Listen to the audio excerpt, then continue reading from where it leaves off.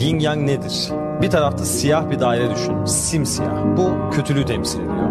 Diğer tarafta da beyaz bir daire düşün. Bembeyaz. Bu da temizliği ve iyiliği temsil ediyor. Ama o siyah dairenin içerisinde bir nokta beyaz var.